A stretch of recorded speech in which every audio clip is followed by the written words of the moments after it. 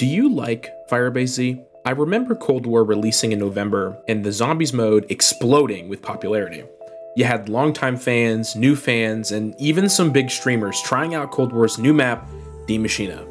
The new crafting systems, the skill trees, the weapon tiers, and kill streaks were exciting, they were fresh for this new Zombies mode. With the exception of a lackluster Onslaught 1.0 mode that was just on PlayStation, this is all we had for three months. I recall friends and myself basically pleading for something, anything, in the coming Season 1 update that would give us something else to chew on. During Season 1, we did get the promise of two new LTMs, Jingle Hells and Cranked, but those ended up just being small, tiny variations on the basic zombie gameplay, which just funneled us back into Die Maschine anyway. Things were looking pretty dire until the surprise announcement that Treyarch was ahead of schedule and we're actually going to be able to release the next round-based map towards the end of Season 1.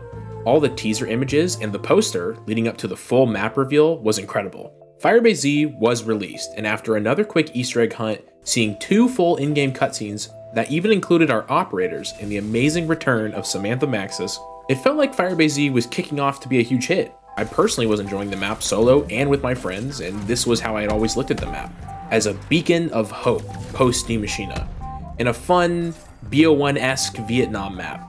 Almost right after, though, we got the news of a new zombie mode on the way Outbreak. This new mode was a huge deal. Open world zombies, changing maps during the match, drivable vehicles, it all sounded great. And it was. Despite what some loud people online might tell you, Outbreak was a huge success, even Treyarch themselves stating that the mode had just as many players on it as round-based.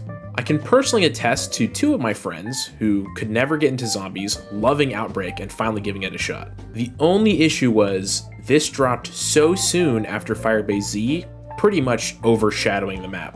All the online discourse was changing to just Outbreak. Now, flashing forward to present day, whenever I see Firebase Z brought up, I was surprised to see how divisive it is. I would hear a lot of lukewarm or outright distaste for the map, which confused me as I remember it being this sort of savior of a map coming down to save Cold War player base from Die Maschine Purgatory.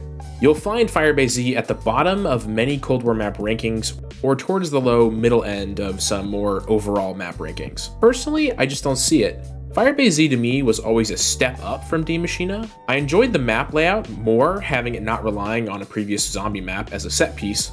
The Wonder Weapon, while not the best, was really cool visually and at least fun to use. I love the moon style spawn, of course, and fan favorite characters like Ravenov and Dr. Peck. The only major issue I'd say I have with the map is the lack of jungle. I wish it was more jungle, less facility. Another core feature of the map I really enjoyed was assault waves. And even having the new Orda enemy show up and attack was so refreshing to me over just another dog round variant. However, I am someone who plays maps for 20 to 50 rounds at a time, not really a high rounder, and when talking to people who are, they don't really like assault waves, feeling they break up the pace of the rounds. Learning this take and this feature, I can't help but wonder what other stances people have on this map that might bring it down for them. Some recurring points I usually hear are Assault Wave high rounds, the Wonder Weapon being too weak, the Orda boss fight and the Easter egg, and especially the Mimic step. What about you? What are the things that brings this map down for you personally? Or do you really enjoy this map like I do?